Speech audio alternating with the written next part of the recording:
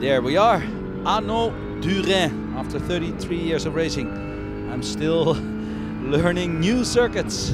This one is in France, close to Strasbourg. Long straight, 240 kilometers per hour. Fifth gear, short in the limiter. Here I went to sixth gear. Light oversteer in the entry in the high speed. Very, very dodgy, late braking. Back to second gear, a little bit over the curb.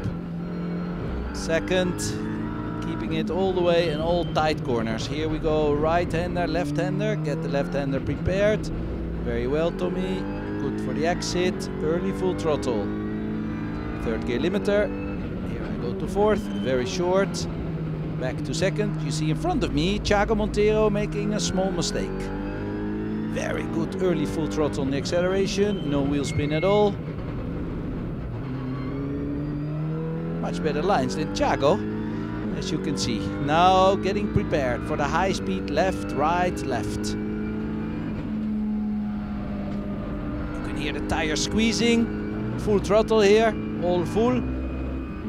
Hard braking just a little bit after the bridge.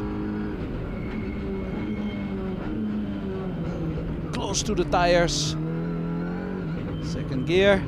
I'm catching you, Thiago, that's for sure. The last two corners, second gear. Tire squeezing.